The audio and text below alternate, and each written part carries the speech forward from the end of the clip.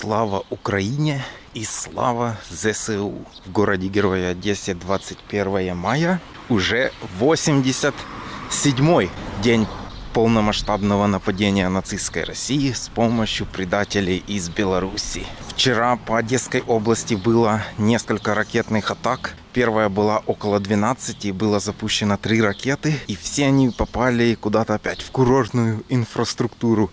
Больше всего пострадала раздевалка и туалет на пляже. Но это у россиян не впервой. Они раньше туалеты в Запорожской области разбомбили ракетой. Потом где-то около пяти часов дня россияне нанесли удар по какому-то порту или припортовому заводу. Там был один взрыв. Ну, о разрушениях неизвестно. Никто не пострадал. Значит, все нормально, починят. А около пяти часов утра действительно услышали какой-то такой глухой взрыв. Скорее всего, сработало ПВО, потому что о ракетном ударе никто потом ничего не говорил. Появились новости из самой интересной части Одесской области, острова Змеиный.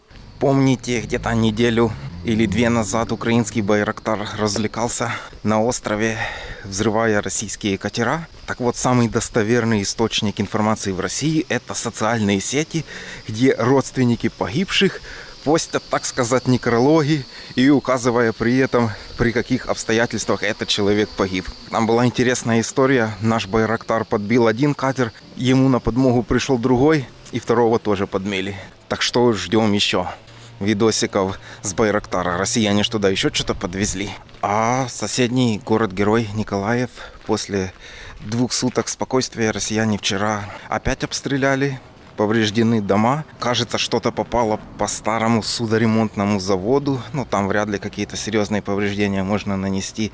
Завод и так разрушен почти. Также на подлете к городу, где-то в области, наше ПВО сбило ракету. Но одна ракета, к сожалению, попала куда-то в область. Опять какой-то гражданский объект поврежден. А после обстрела артиллерии сел в Николаевской области, то пострадало три человека. Ну и, конечно же, ни о каком нападении на Николаева, уж тем более на Одессу, речь уже не идет. Россияне там минируют территорию рядом с Херсоном, чтобы нашим было тяжелее атаковать. Заминировали мост через Днепр, чтобы подорвать его, если будут так ходить. Так что, так сказать, готовятся к обороне.